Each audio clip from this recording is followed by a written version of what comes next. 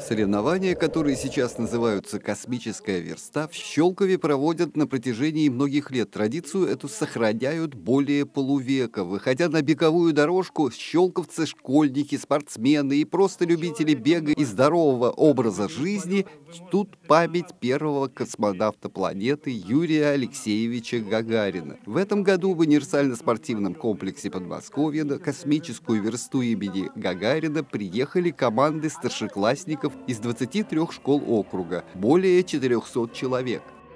Для нас важно, чтобы они э, были здоровыми, чтобы они росли э, и умели достигать своих целей.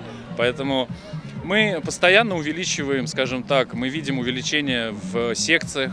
У нас э, сильно загружены наши объекты спорта по всему городскому округу, от Фрянова до Монина.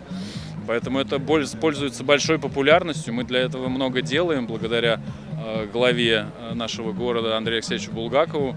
И спорту посвящается достаточно большое внимание. Инфраструктура за последнее время э, хорошо обновилась. Спорт воспитывает в человеке в первую очередь целеустремленность и волю, силу духу. Не, виды, многие виды спорта, конечно же, учат концентрироваться, концентрировать свое внимание. И это сказывается на э, образовательном процессе при изучении различных предметов.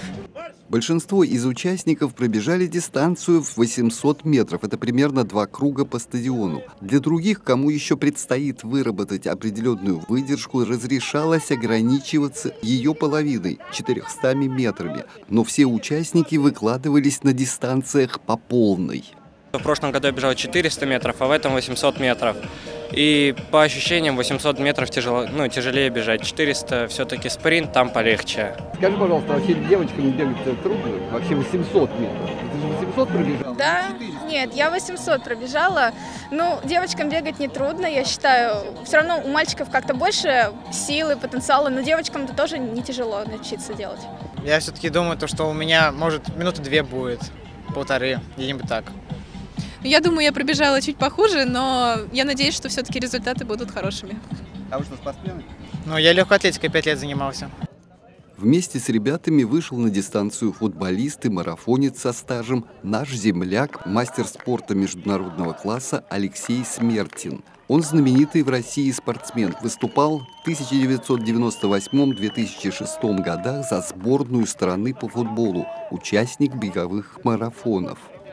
Я как раз занимаюсь сейчас ребятами из коррекционных школ. Я их вовлекаю в футбол. Но так как я здесь э, связан с бегом уже давно, около 10 лет после завершения футбольной карьеры, и живу я здесь, и чувствую, отождествляю себя вот уже с Щелковским районом, хоть живу не, не, не, недавно, то вот, получив приглашение, я сразу согласился. Космическая верста – это спортивный праздник и великолепная возможность для школьников, для их воспитателей, для ветеранов спорта, для всех поднять себе и своим друзьям настроение. Победителей соревнований будут награждать позже, когда подведут итоги. Спорткомитету и ответственным в нем за космическую версту придется потрудиться, ведь надо будет учесть результаты множества забегов, зафиксировать время всех участников. Но результат уже есть потому что уже сейчас эти ребята, все, кто приехал на стадион, победили, выбирая спорт и здоровый образ жизни. Андрей Цеханович, Валерий Жиглей, Щелковское телевидение.